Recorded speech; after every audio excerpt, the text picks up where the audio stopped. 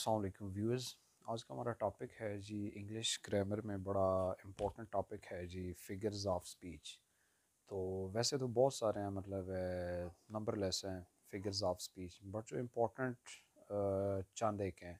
मतलब वो वाले इम्पोर्टेंट जिनका तकरीबन जो इंग्लिश लैंग्वेज का हर स्टूडेंट है मिडिल क्लासेस से लेके ग्रेजुएशन तक, हर क्लास में जो है वो जिनसे वास्ता पड़ता है, उनमें से जो बेसिक से हैं चंद उनको मैं पहले डिफ़ाइन करूँगा कि वो क्या होते हैं।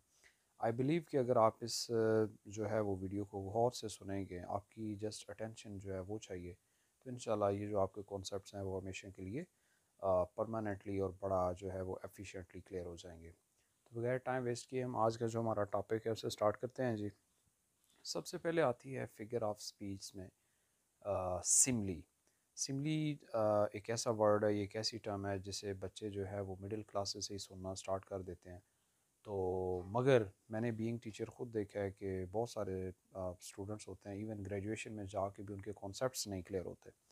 तो देखते हैं जी कि सिमली क्या होती है। तो पहले बड़ा सिंपल वर्ड्स में मैं इसे डिफ़ाइन करता हूँ कि जब हम अपने चीज़ों को जो है ना वो मतलब जो फ़र्क है उस पर गौर करना है कि जब आ, कोई सी दो चीज़ें, जो सिमिलर नहीं है मतलब नॉन सिमिलर चीज़ें, जो अनलाइक चीज़ें हैं, जो एक जैसी नहीं हैं, उनका कंपैरिजन किया जाता है। एक दूसरे का, उनका जो है वो एक से दूसरे का मवाजना किया जाता है या फिर तशबी दी जाती है एक को दूसरी से। तो ऐसा जो कंपैरिजन है मतलब दो अनलाइक चीज़ों में कंपैरिजन किया जाता है और दो से तीन वर्ड्स हैं मेनली दो हैं, जिनमें लाइक या फिर एज़ का जो है वो इस्तेमाल किया जाता है।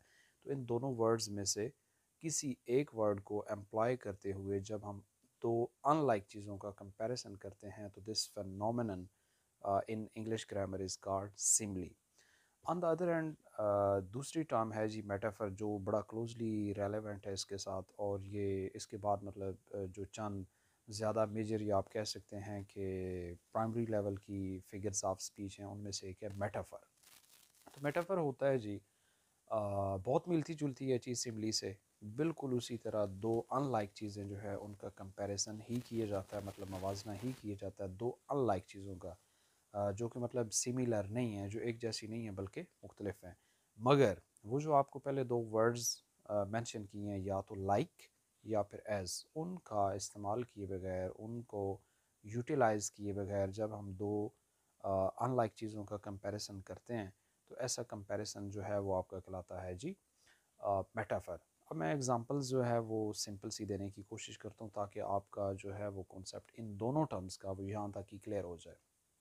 अच्छा जी सिमली में मैंने आपको बताया कि सिमली और मेटाफर बेसिकली दोनों एक ही चीज़ है। एक ही डिफरेंस मैंने आपको बताया कि सिमली में वर्ड या तो लाइक या फिर एज़ का इस्तेमाल किया जाता है दो अनलाइक चीज़ों में कंपैरिजन करने के लिए, जबकि दूसरी जानब जो आपका मेटाफर है, उसमें लाइक या एज़ का जो है वो मतलब एम्प्लॉय से नहीं किया जाता, बल्कि डायरेक्टली ही दो अनलाइक चीज़ों को कंपेयर कर दिया जाता है।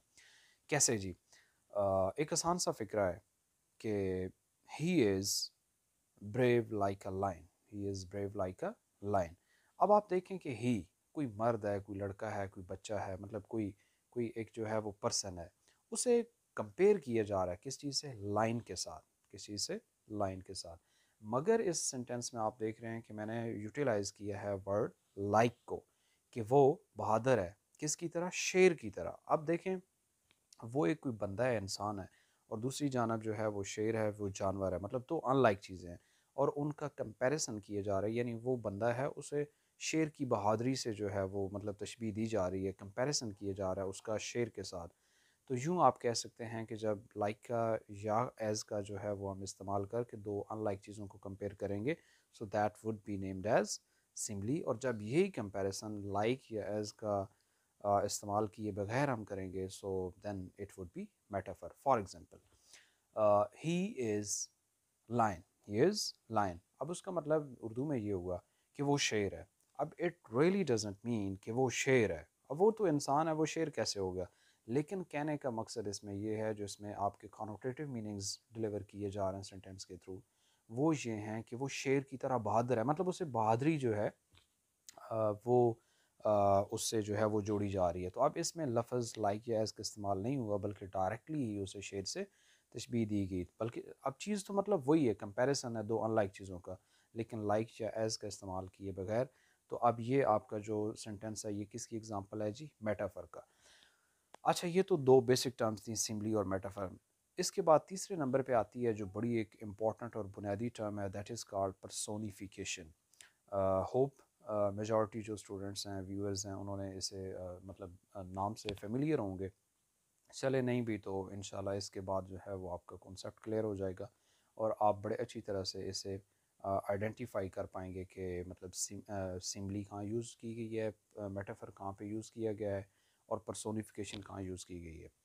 तो देखते हैं जी परसोनिफिकेशन क्या है। परसोनिफिकेशन बेसिकली ये होती है कि जब हम किसी भी चीज़ को आ, किसी भी जानवर को किसी भी मतलब शय को जो नॉन लिविंग है उससे लिविंग ह्यूमन बींग्स या स्पेशली जो पार्टिकुलरली जो ह्यूमन बींग्स वाली एट्रीब्यूट्स हैं करेक्टरिस्टिक्स हैं uh, मतलब जो खसूसियात हैं वो हम उन्हें देते हैं जब इंसानों वाली खास खासियतें या एट्रीब्यूट्स, करेक्टरिस्टिक्स हम नॉन लिविंग थिंग्स को देते हैं या मतलब एनिमल्स को देते हैं या किसी भी और शय को देते हैं, किसी भी आइडिया को देते हैं।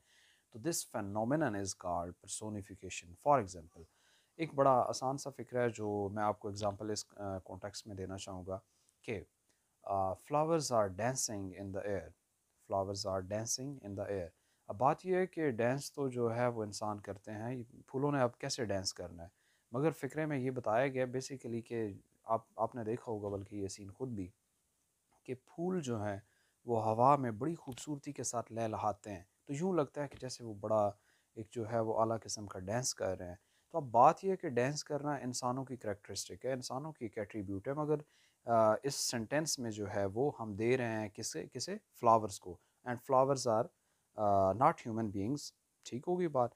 तो ये जो चीज़ है जब हम ह्यूमन बींग्स वाली एट्रीब्यूट्स नॉन ह्यूमन्स को देते हैं या नॉन लिविंग थिंग्स को इंसान uh, केसेस देते हैं तो इस फेनोमिन इस अमल को कहते हैं जी परसोनिफिकेशन तो इसके लिए जो बाकी भी कुछ साथ एग्ज़ाम्पल्स हैं वो साथ साथ मैं ट्राई कर रहा हूँ कि साथ जो है वो कोट कर दूँ। तो लेकिन सिंपली ये तीनों आइडियाज़ थे आई होप कि आपके जो है वो कॉन्सेप्ट क्लियर हो गए होंगे. Thank you very much